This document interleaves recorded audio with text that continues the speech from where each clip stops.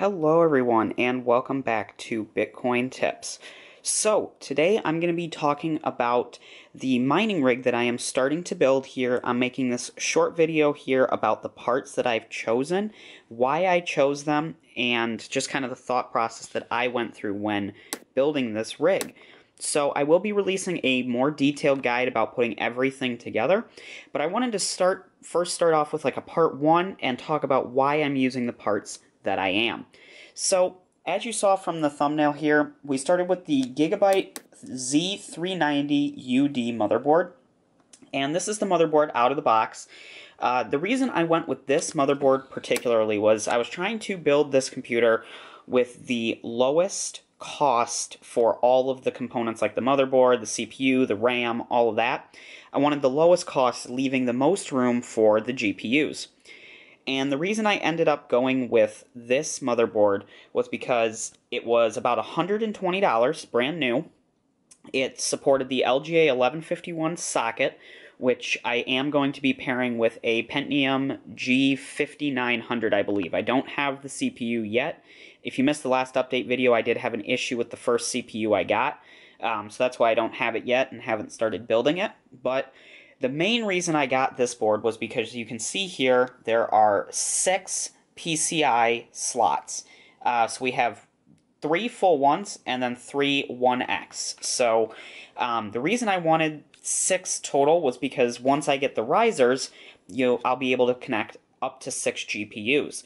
Um, you can get cheaper motherboards for around like 80 75 to 80 dollars but they might only have three slots total um, and maybe only one 16x slot so that's ultimately why i went with this board in particular was it had the socket i wanted supported you know ram is whatever you just get the ram that you have and it's supported up to six GPUs. Um, so that's something that I really looked for in the motherboard choice, and I would recommend that you look for as well because you don't want to buy a motherboard that's cheap but only supports three CPU or uh, three GPUs. Sorry.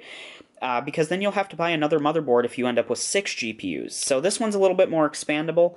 At the time right now, I'll probably only end up running about three to four GPUs in it because that's all I have right now, which I'll be talking about the GPUs here in just a minute. But I wanted to be future proof and be able to upgrade to have six full GPUs using risers, of course, because you can't plug GPUs into the 1X slots. But that's ultimately why I went with this motherboard. Um, so let's move on to some of the other components. So the next component that I'll talk about here is the RAM. Uh, I ended up going with just a single stick of uh, DDR4 8 gigabytes of RAM because for the mining software, you don't really need a ton of RAM, and this was what was compatible with the motherboard, and I believe it was about uh, 25 to $30. Uh, it is a different kind of off-brand V-color RAM, but uh, you can see those are the stats there if the camera would focus. Uh, might be a little hard because it's in the plastic, but uh, to read that for you, it's 8 gigs at 2600, 2666 megahertz. So nothing special, but I did want to mention it since we are talking about all of the components. Um, so that's that's the RAM that I went with, and again, these parts, the motherboard is more important, obviously, than the RAM, CPU, stuff like that. When building a mining rig, as long as it turns on and has relatively enough computing power to run the software, it doesn't really need to be, you know, like a quad core or 16 gigs of RAM or anything like that because all it all it needs to do is just run the mining software and communicate with the GPUs. And you can actually get away with 4 gigabytes of RAM. But again, I kind of want to future proof this just in case something does change. I'd rather have 8 gigs of RAM now than, you know, spend maybe a little bit less right now on RAM, but then have to end up spending more upgrading it in the future. Okay, so up next is the power supply that I went with, and this is a 1000 watt Rosewill power supply. I believe it was about $120, um, so this is something else that you really want to think about when building a mining rig. Uh, the power supply, obviously, is what powers everything, and depending on the GPUs that you're going to use, you need to really think about how many watts do I need to power the GPUs.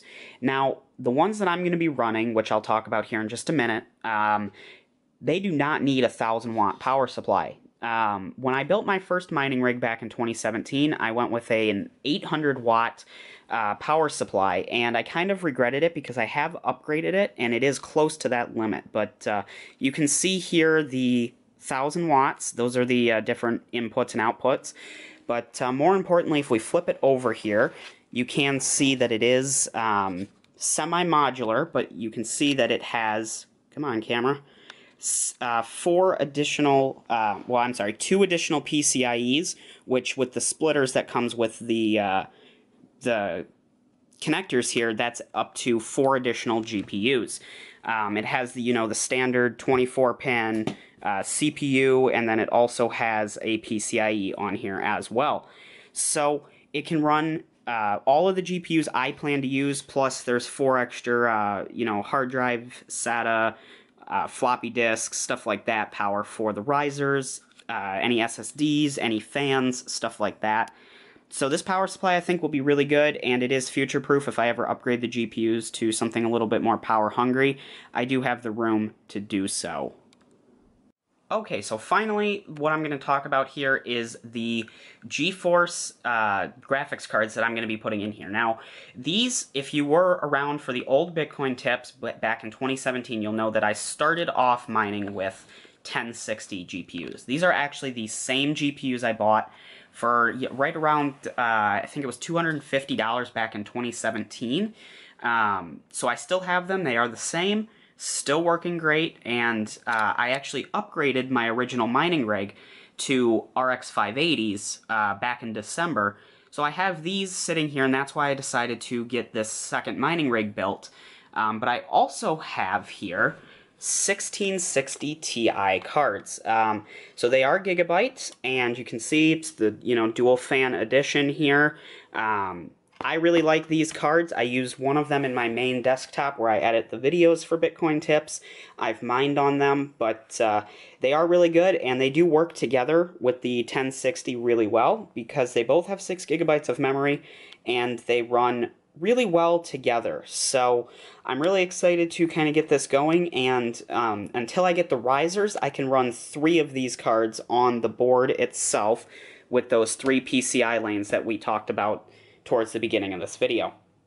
So that is really the reason why I tried to save as much cost on uh, this side of the computer was because I already had the GPUs. These GPUs have actually already paid for themselves when they were on the old mining rig. So the total cost for this mining rig was about $450. Um, now that is motherboard, CPU, RAM, power supply, and then some extra things like the fans. Um, and I think I, I grabbed a, a, flash drive for Hive OS for about three bucks. So um, definitely a, a really good cost since these cards have already paid for themselves. I'm not really factoring it in. But to get these cards right now with the way that the graphics card market is, uh, 1660 Ti somehow is selling in the 500s, and you might be paying around three to 400 for a 1060. So uh, definitely, um, definitely pretty crazy, but I was glad I had these already, and I could sell them and make a good amount of money. But I think what I'll do is I'll just mine on them for now, and then if an opportunity comes up where I can upgrade these, I will for sure take that, and I can always do videos on that if the time comes. And I can always sell these secondhand on eBay and get some money for them. So, definitely really cool. Um, if you're looking forward to seeing the complete build guide of this, make sure you're subscribed to the channel. Uh, check out the Discord at the link in the description below if you want to learn about more things cryptocurrency, meet some new people in the cryptocurrency community. Um, but I do hope to see you in my next video, and I hope you guys enjoyed this. So thanks for watching, and I hope to see you in the next one. Bye.